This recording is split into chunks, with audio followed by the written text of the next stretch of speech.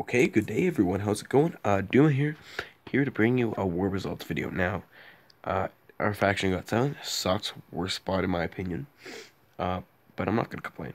Ashes, uh, paid more than Evolution, and they managed to win this war. And, uh, you know, I don't care. I, there's no reason for me to care. Legends of the Walking Dead, third. Grats on that. Beat back from Relentless. So we get all this crap.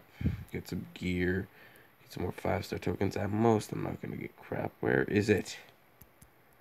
Uh,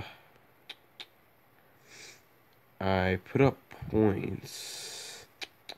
Okay, there it is. coming in late. No, uh, so let's just go check. We get gear, yay, gas mask, yay, camp stuff, yay, 300, yay, 400, yay. So what are we at now? Uh, one, 1.5 uh, out of 10 there. So uh, I guess that's uh, claiming my war prize, guys.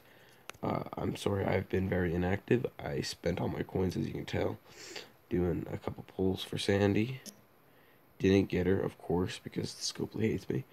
Uh, I was hoping I got her, but I didn't. Of course, I uh, did get Sandy, actually. Um, but not the Sandy you guys expect me to get. Uh, I got a uh, three star Sandy, yay, fun. I also pulled a four star Olivia with it and a three star Benjamin. Uh, other than that, thanks guys for watching. Uh, Doom out.